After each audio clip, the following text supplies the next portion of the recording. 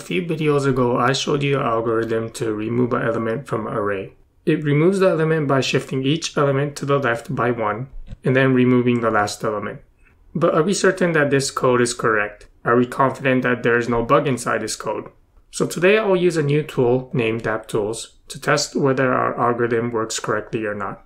Instead of writing few test cases, we'll test our algorithm by running hundreds of tests, which are all generated by the tool, DappTools. So in this video, I'll show you how to install DappTools, how to build smart contracts using the command dapp build, how to run the test with the command dapp test.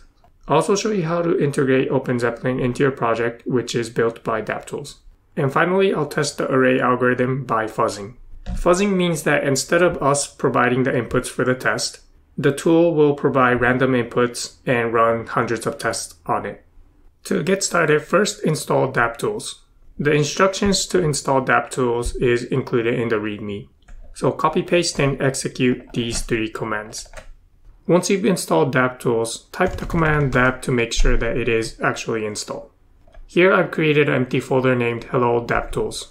To initialize a project with DappTools, the command that you'll have to type is dapp init. Notice that this command created a bunch of files. Open the folder source, and there's already some smart contract inside it. A very basic smart contract named hello DappTools, and some examples of how to write tests.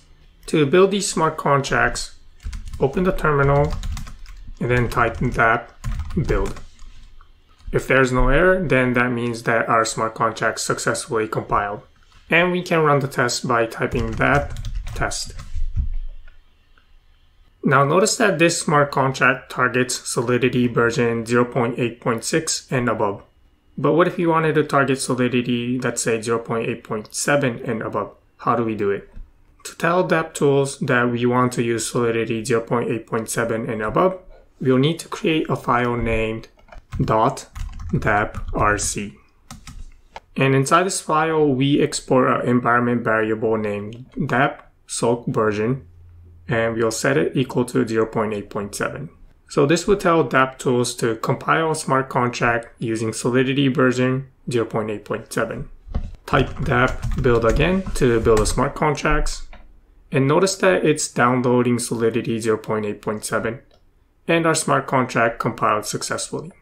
So using .dapprc, you can tell DappTools to target a certain version of Solidity compiler. Next, I'm going to show you how to integrate OpenZeppelin contracts with DappTools. For example, let's say that I have a contract called MyToken and I want to use the ERC20 contract available from OpenZeppelin. The first thing that you'll need to do is create a npm package.json in this folder, hello DappTools. So you'll do that by typing npm init-y. This will create a package.json and we'll install OpenZeppelin by typing npm i at open zeppelin slash contracts. Once OpenZeppelin contracts is installed, we need to tell DappTools where it can find those smart contracts. The OpenZeppelin smart contracts are located inside node modules at OpenZeppelin, and then we have our contracts inside here. So we need to tell DappTools when we're importing OpenZeppelin contracts to go look for the contracts inside here. And to do that, we need to create a file called remapping. So inside this project, I'll create a file named remappings.txt. Inside remappings.txt, we'll tell DappTools that when we mention at OpenZeppelin inside my token, so import at OpenZeppelin, then we'll tell DappTools to go look for the actual files inside node modules at OpenZeppelin slash contracts. And you can see here that inside node modules at OpenZeppelin slash contracts, the contracts are there. And we also tell that when we import ds test, this is the test framework contracts available in DappTools. Then to go look for those contract under lib ds test source. And you can see that under lib ds test source, all the contracts and all of the functions used for the test are available. So once we have our remappings.txt filled out, we need to tell DappTools to go look for remappings inside this file. To do that, we'll need to open .dapprc again, and then set the environment variable dapp remappings to the content of remappings.txt. Once that is done, we'll be able to compile my token, which uses the OpenZeppelin contracts. I made a small mistake. Make sure that remappings is inside the project root. Once remapping.txt is in the correct place, I'll open my terminal and then type dapp build. And our smart contracts compiled. So this means that we successfully integrated OpenZeppelin contracts into our project. The last thing that I'll show you is how to write tests in DappTools. So here we have our algorithm that removes one element from an array by shifting each element to the left by one. Let's write a test for this algorithm and see if there's any bugs. We'll create a test by creating a new contract named array remove by shifting dot t dot sol. The .t prefix tells DappTool that this contract is meant only for testing.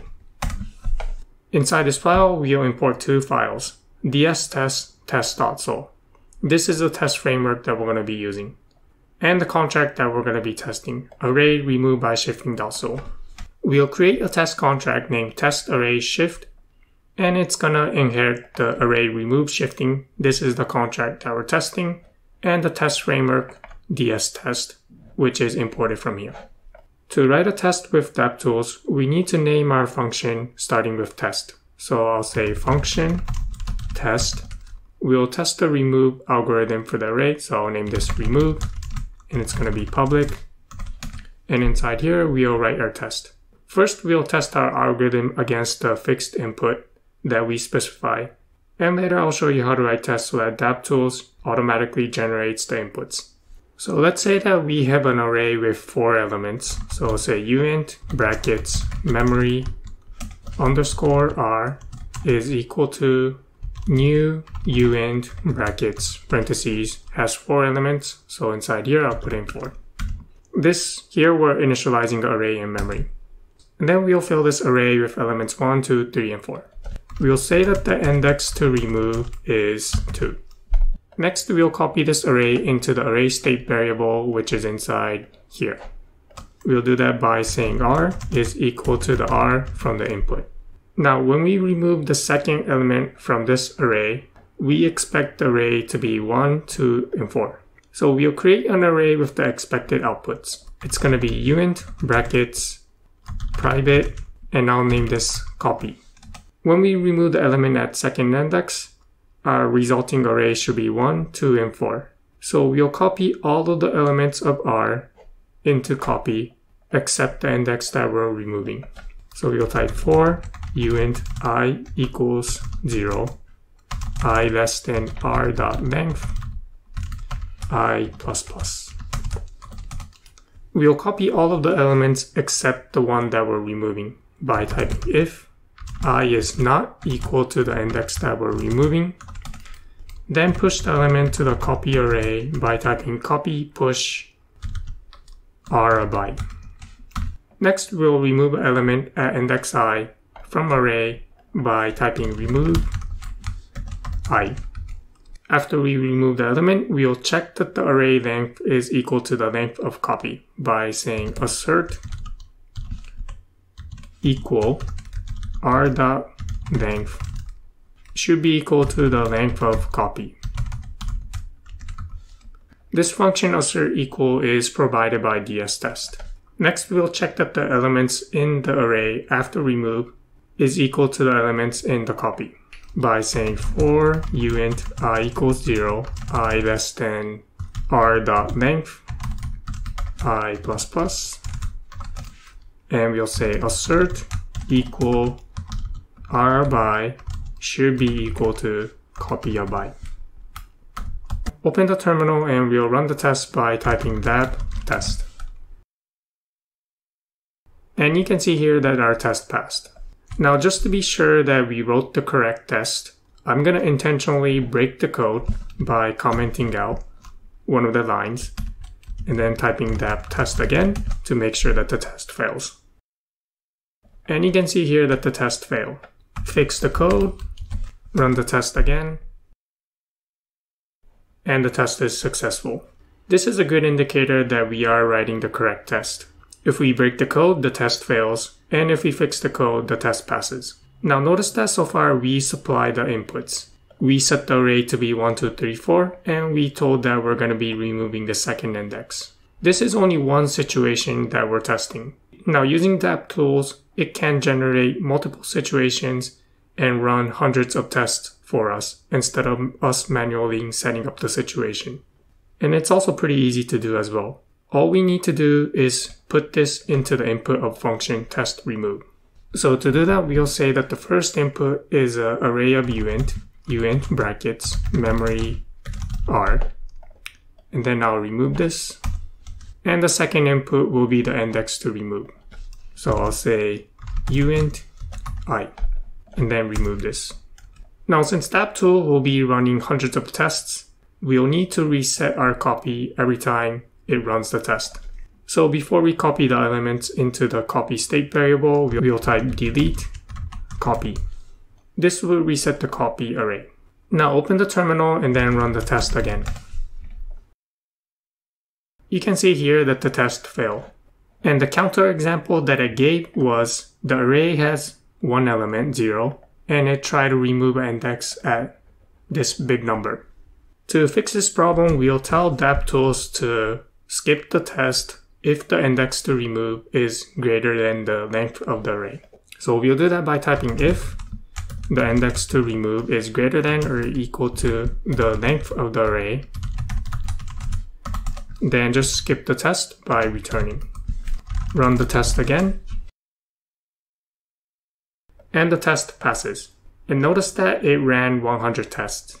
Now, if you wanted to run more than 100 tests, let's say 1000 tests, then you would type dapp test dash dash fuzz runs 1000.